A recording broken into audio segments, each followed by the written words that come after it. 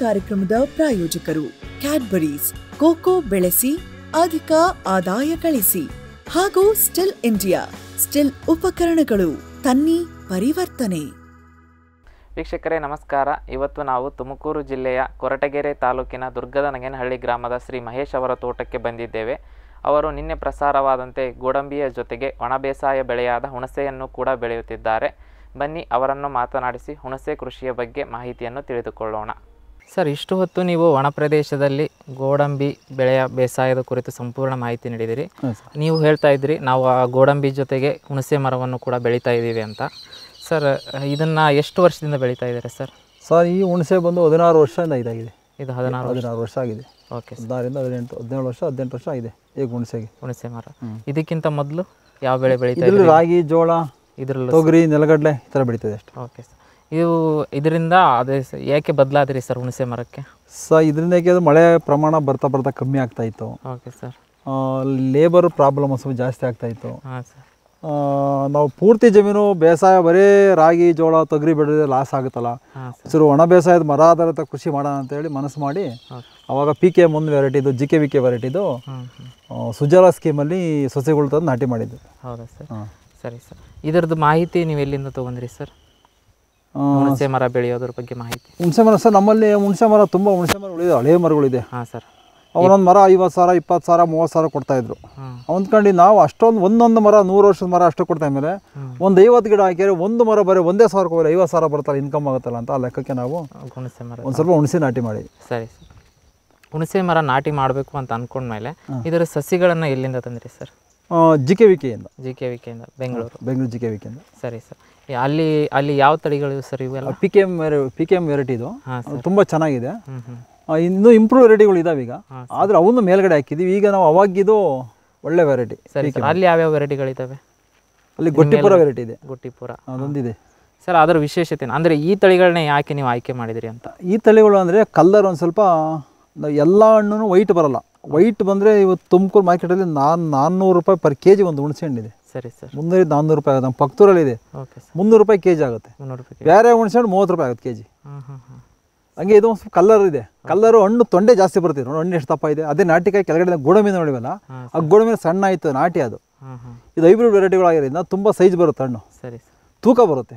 ಹಂಗಾಗಿ ನೀವು P K M variety selection ಮಾಡಿ. ಓಕೆ ಸರ್ ಆ ಸಸಿಗಳನ್ನ ಅದಕ್ಕೋಸ್ಕರ ಆಯ್ಕೆ ಮಾಡಿದೆ. ಸರಿ ಸರ್. ಇದು ಮತ್ತು ನೀವು ಈ ಸಸಿಗಳನ್ನ ತರಬೇಕಾದ್ರೆ ಇಲ್ಲಿ ಆ ಸಸಿಗಳು ಎಷ್ಟು ವರ್ಷದ್ದು ಇದ್ವು ಸರ್ ಅಲ್ಲಿ? ಒಂದು ಒಂದು- ಒಂದೂವರೆಯಿಂದ ಎರಡು ವರ್ಷದ ಗಿಡ. ಚಿಕ್ಕ ಗಿಡ ಎಲ್ಲ ಒಂದೊಂದು ಎರಡು ಅಡಿ ಇದು ಅಷ್ಟೇ ಗಿಡ ಹಾಂ ಸರ್ ಅಷ್ಟೇ. ಅವು ಹೇಗೆ ಆಯ್ಕೆ ಮಾಡಿದ್ರಿ ಅಂತ ಇವು ಉತ್ತಮ ಸಸಿಗಳು ಅಂತೇಳಿ? ನಾವು ನೋಡಿ ಗಿಡಗಳು ಚೆನ್ನಾಗಿರೋ ಕಂಡು ಚೆನ್ನ ಚೆನ್ನಾಗಿರೋ ಆಯ್ಕೊಂಡು ಅವ್ರಿಗೆ ಕೊಟ್ಟು ನೀವು ಯಾವುದೋ ಸಸಿ ತಗೊಳ್ರಿ ಅಂತಲ್ಲಿ ಅಲ್ಲಿ. ನಮ್ಗೆ ಯಾವ ಬೇಕೋ ಸೆಲೆಕ್ಷನ್ ಮಾಡ್ಕೊಂಡು ತಂದು ಗುಂಡಿ ಹೊಡೆದ್ವಿ ಸರ್. ನಾಟಿ ಮಾಡಿದ್ದೀವಿ ಹ್ಞೂ ಅಷ್ಟೇ. ಗುಂಡಿ ಎಷ್ಟು ಎಷ್ಟು ಎರಡು ಎರಡು ಅಡಿ ಎರಡು ಅಡಿಸಿ. ನಾಟಿ ಮಾಡಬೇಕಾದ್ರೆ ಏನೇನು ಹಾಕಿ ಗೊಬ್ಬರ ತಿಪ್ಪೆ ಗೊಬ್ಬರ ಸೊಪ್ಪು. ಹಸಿ ಸೊಪ್ಪು ಹಾಕ್ಬಿಟ್ಟು ಒಂದು ಎರಡು ತಿಂಗಳು ಬಿಟ್ಟು ಆಮೇಲೆ ತಿಪ್ಪೆ ಗೊಬ್ಬರ ಹಾಕಿ ಹಾಂ ಸರ್. ಮಣ್ಣು ಮುಚ್ಚಿಬಿಟ್ಟು ಗಿಡ ಹಾಕಿದೆ. ಅದನ್ನ ಇಮಿಡಿಯೇಟ್ ಆಗಿ ಮುಚ್ತೀರಾ ಸರ್? ಗ್ಯಾಪ್ ಏನಾರು ಕೊಡ್ತೀರಾ? ಗೊಬ್ಬರ ಹಾಕಿದ ತಕ್ಷಣನೇ ಸಸಿಗಳನ್ನ ಗೊಬ್ಬರ ಹಾಕಿಲ್ಲ ಗೊಬ್ಬರ ಹಾಕ್ತಿದಂಗೆ ಸಸಿ ನಾವು ಗುಂಡಿ ಹೊಡೆದು ಮುಂಚೆ ಬಿಟ್ಟಿರ್ತೀವಿ. ಸೊಪ್ಪು ತುಂಬ ಮುಚ್ಚಿಬಿಟ್ಟಿರ್ತೀವಿ ನಾವು ಜೂನ್ ಜುಲೈಗೆ ಗೊಬ್ಬರ ಹಾಕೋದು. ಸೊ ಗೊಬ್ಬರ ಹಾಕ್ಬೇಕಾದ್ರೆ ಹಂಗೆ ಸಸಿ ಹಾಕೊಂಡು ಗೊಬ್ಬರ ಹಾಕೊಂಡು ಬಂದ್ಬಿಡ್ತೀವಿ ಸರಿ ಸರ್. ಒಟ್ಟಿಗೆ. ಅಂದ್ರೆ ಅದನ್ನ ನೆಲದಿಂದ ಎತ್ತರಕ್ಕೆ ಹಾಕ್ತೀರಾ? ನೆಲದ ಒಳಗಡೆ ನೆಲದ ಒಳಗಡೆ ಹಾಕ್ಬೇಕು. ನೆಲದೊಳಗಡೆ ಸರ್. ಅರ್ಧಡಿ ಅರ್ಧ ಒಳಗಡೆ ಇರಬೇಕು. ಯಾಕಂದ್ರೆ ಇದು ಕಸಿ ಗಿಡ ಇವು. ಕಸಿ ಕೆಳಗಡೆ ಹೋಗ್ಬಾರ್ದು ಮೇಲೆ ಇರಬೇಕು. ನಟಿ ಗಿಡ ಆಗ್ಬಿಡುತ್ತೆ. ಕಸಿ ಮೇಲ್ಗಡೆ ಕಂಡು ಬಿಟ್ಕೊಂಡು ನಾಟಿ ಮಾಡುವ ಗಿಡ. ಅದೇ ಸರ್. ಮತ್ತೆ ಈಗ ಅದು ಕಸಿ ಕೆಳಗಡೆ ಬಂದಂಥವು ಕೊಂಬೆಗಳನ್ನ ಏನಾದರೂ ಕಟ್ ಮಾಡಿ ಕಟ್ ಮಾಡ್ಬಿಡ್ತೀವಲ್ಲ. ಕಟ್ ಮಾಡ್ತಾರೆ ಅದನ್ನೇ ಎಷ್ಟು ದಿವಸಗಳಿಗೊಮ್ಮೆ ಅದು ಚಿಗ್ರದ ಬಂದಂಗೆ ಬಂದ ನೋಡಿ ಚಿಕ್ಕ ಚಿಕ್ಕನಲ್ಲೇ ಕಟ್ ಮಾಡ್ಬೇಕು ದೊಡ್ಡದಾಗಿ ಬಿಡಬಾರ್ದು. ಚಿಕ್ಕ ಚಿಕ್ಕನ ನೋಡ್ಕೊಂಡು ಕಟ್ ಮಾಡ್ಬಿಟ್ರೆ ಸೈಡ್ ಸೈಡಲ್ಲಿ ಅದು ನಾಟಿ ಗಿಡ ಬರಲ್ಲ. ನಾಟಿ ಗಿಡ ಬರಲ್ಲ ಕೆಳಗಡೆ ಇದ್ರು ಸರಿ ಸರ್. ಮತ್ತೆ ಸರ್ ಇದಕ್ಕೆ ಎಷ್ಟು ಅಂತರಗಳಲ್ಲಿ ನಾಟಿ ಮಾಡಿದ್ರಿ ಸರ್ ಇದನ್ನು? ಇದು ಮೂವತ್ತಡಿ ದೂರದಲ್ಲಿ. ಎಲ್ಲ ಗಿಡಗಳು ಅಷ್ಟೇ ಅಂತರ ಇಲ್ಲ ಒಂದೊಂದೊಂದೊಂದು ಒಂದೊಂದು ಥರ ಮಾಡಿದ್ದೀವಿ ಸರ್. ಇದು ಮೂವತ್ತಡಿ ಇದೆ. ಓಕೆ ಇಪ್ಪತ್ತೈದು ಅಡಿ ಇದೆ. ಯಾವುದರಲ್ಲಿ ಇಳುವರಿ ಒಳ್ಳೆ ಚೆನ್ನಾಗಿ ಬರುತ್ತೆ ಸರ್? ಮೂವತ್ತಡಿನಲ್ಲಿ ಇಳುವರಿ ಹುಣಸೆ ಚೆನ್ನಾಗಿ ಬರುತ್ತೆ.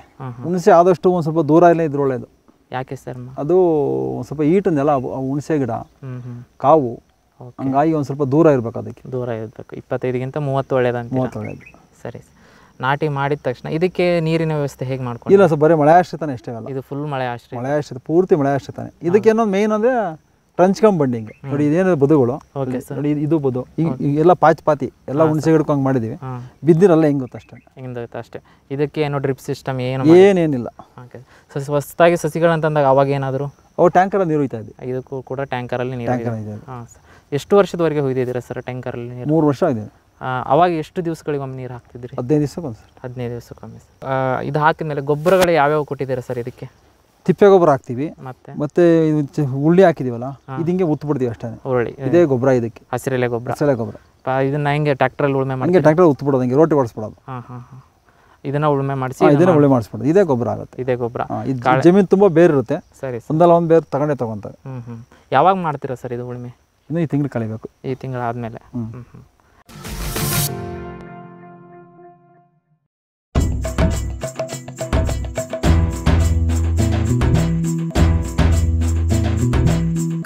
ಪ್ರಗತಿ ಸಾಕಾರವಾಯಿತು. ಸ್ಟಿಲ್ ತಂತ್ರಜ್ಞಾನದಿ ಸಾಧ್ಯವಾಯಿತು. ಬದಲಾವಣೆಗೆ ಕಾಲ ಕೂಡಿ ಬಂತು. ಸ್ಟಿಲ್ ಉಪಕರಣಗಳು, ತನ್ನಿ ಪರಿವರ್ತನೆ.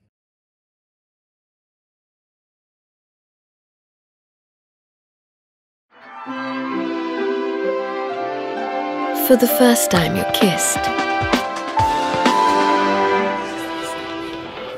For the first time you stood up.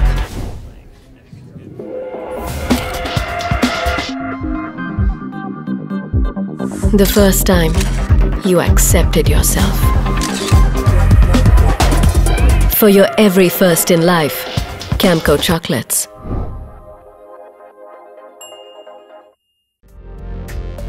Nualgi nano biotech ಹದಿಮೂರು ಪೋಷಕಾಂಶಗಳ ಪೇಟೆಂಟ್ ಪಡೆದ ನ್ಯಾನೋ ತಂತ್ರಜ್ಞಾನದ ಉತ್ಪನ್ನ ಭೂಮಿ ಮತ್ತು ಗೊಬ್ಬರಕ್ಕೆ ಸಿಂಪಡಿಸಲು ನೂಆಲ್ಗಿ ಸಾಯಿಲ್.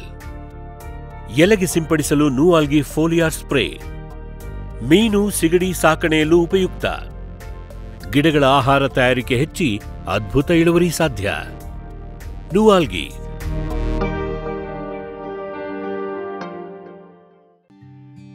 ಕಳೆ ಕೊಚ್ಚುವುದು ಈಗ ಹಿಂದೆಂದಿಗಿಂತ ಸುಲಭ. ಕಳೆ ಯಂತ್ರದ ಟ್ರಾಲಿ ಎಸ್ಜಿಬಿ ಕಂಪನಿಯ ಮೂಲ ಸಂಶೋಧನೆ. ಯಾವುದೇ ಬ್ರಾಂಡ್ನ ಸೈಡ್ ಬ್ಯಾಗ್, ಬ್ರಷ್ ಕಟ್ಟರ್ ಅನ್ನು ಸುಲಭವಾಗಿ ಜೋಡಿಸಬಹುದು. ಅತ್ಯಲ್ಪ ಕಂಪನ, ಭಾರ ಹೊರುವ ಚಿಂತೆ ಇಲ್ಲ. ಬಾಳಿಕೆ ಬಹುಕಾಲ. ಮಹಿಳೆಯರು, ಹಿರಿಯ ನಾಗರಿಕರು ಕೂಡ ಸುಲಭವಾಗಿ ಬಳಸಬಹುದು. SGB brush cutter trolley.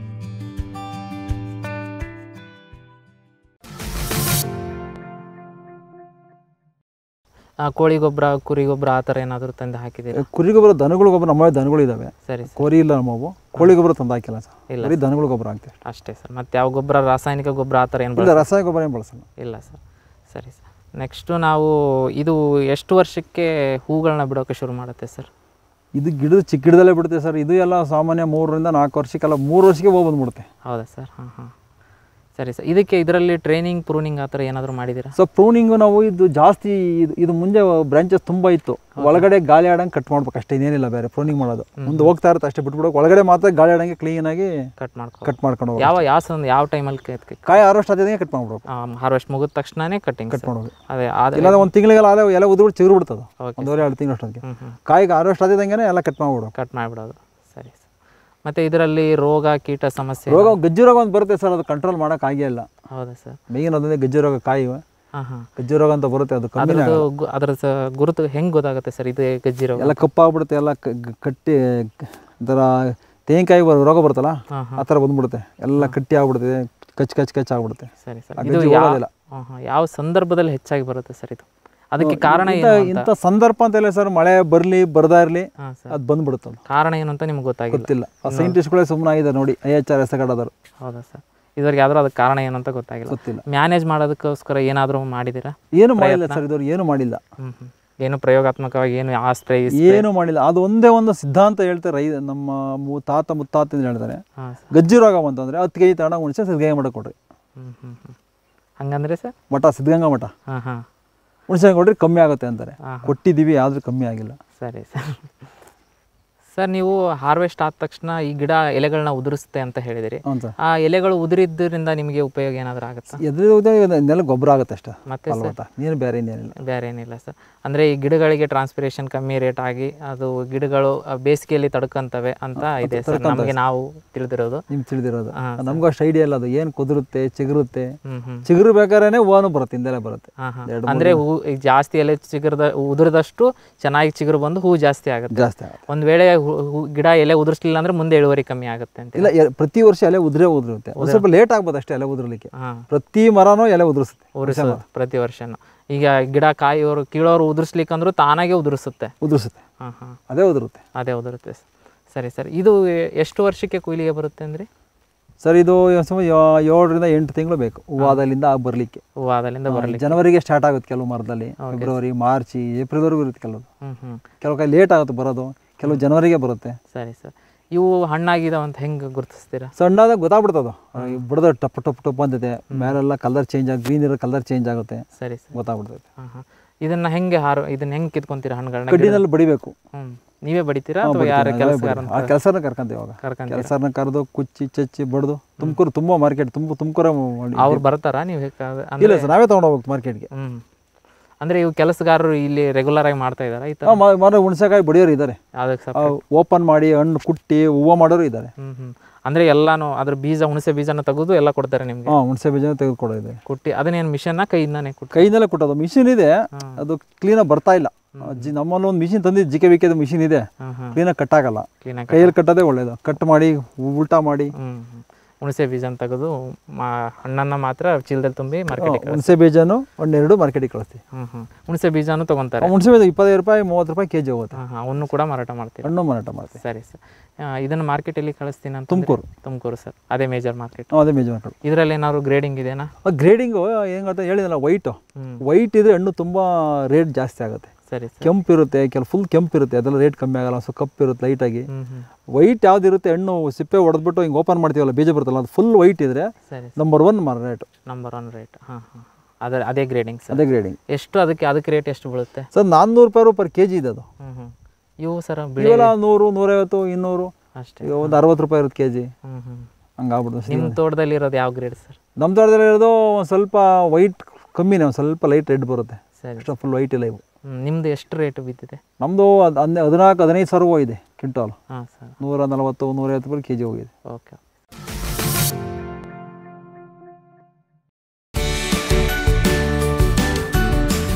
L ಸಾಲ್ ತಂದಿದೆ. ಜಾಗತಿಕ ಗುಣಮಟ್ಟದ ನಿಖರ ನೀರಾವರಿ ಮತ್ತು ಫರ್ಟಿಗೇಷನ್ ಆಟೋಮೇಷನ್ ತಂತ್ರಜ್ಞಾನ. ಕೃಷಿ ಕಾರ್ಮಿಕರ ಕೊರತೆ ದುಬಾರಿ ಕೂಲಿ ಮತ್ತು ಅನಿಯಮಿತ ವಿದ್ಯುತ್ ಪೂರೈಕೆಗೆ ಪರಿಹಾರ. ನಮ್ಮ ಹನ್ನೆರಡು ವರ್ಷಗಳ ನಂಬಿಕಾರ್ಹ ಉಪಕರಣಗಳಿಂದ. ಇದೀಗ ಕೃಷಿ ನೀರಾವರಿ ನಿಮ್ಮ ಬೆರಳ ತುದಿಯಲ್ಲಿ. ಎಲ್ ಸಾಲ್. ಫ್ಯೂಚರ್ ಬಯೋಟೆಕ್, ಸಾವಯವ ಕೃಷಿಯ ವೇಗವರ್ಧಕ. ಪೋಷಕಾಂಶ ಪೂರೈಕೆಗೆ ಎನ್ಪಿಕೆ ಕಲ್ಚರ್, ವ್ಯಾಮ್ ಪಿಎಸ್ಪಿ ಮತ್ತು ಕೆಎಂಬಿ ಜೈವಿಕ ರೋಗ ಕೀಟ ನಿಯಂತ್ರಣಕ್ಕೆ ಟ್ರೈಕೋಡರ್ಮಾ, ಸೊಡೋಮನಾಸ್. ಸಾವಯವ ಗೊಬ್ಬರ ಉತ್ಪಾದನೆಗೆ ಕಾಂಪೋಸ್ಟ್ ಕಲ್ಚರ್, ಹೂವು ಕಾಯಿ ಉದುರುವ ಸಮಸ್ಯೆಗೆ ಕಾಮಧೇನು ಮತ್ತು ಸತ್ವ, ಮಣ್ಣಿನ ಆರೋಗ್ಯ ವೃದ್ಧಿಗೆ Future Biotech Dharwad.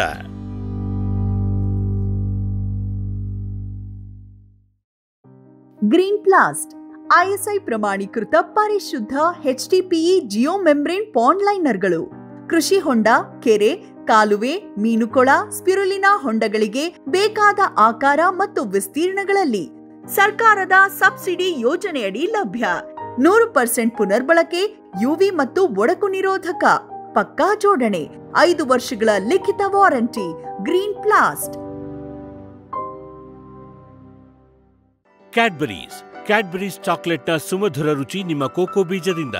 ಸುಲಭದ ಬೆಳೆ ಕೋಕೋ ನಿಮಗೆ ಆಕರ್ಷಕ ಹೆಚ್ಚುವರಿ ಆದಾಯ ತರಬಲ್ಲದು. ಮಾರ್ಗದರ್ಶನ ಮಾಡಿ ಬೀಜ ಖರೀದಿಸಲು ಇದೀಗ ಕ್ಯಾಡ್ಬರಿ ಸಿದ್ಧ. ಸುಲಭ ದರದಲ್ಲಿ ಉತ್ತಮ ತಳಿಗಿಡ, ಉಚಿತ ಸಲಹಾ ಸೇವೆ, ಕ್ಷೇತ್ರ ಭೇಟಿ. ಸಂಪರ್ಕಿಸಿ. ಒಂಬತ್ತು ಎಂಟು ಆರು ಆರು ಎಂಟು ಮೂರು ಆರು ಐದು ಸೊನ್ನೆ ಐದು.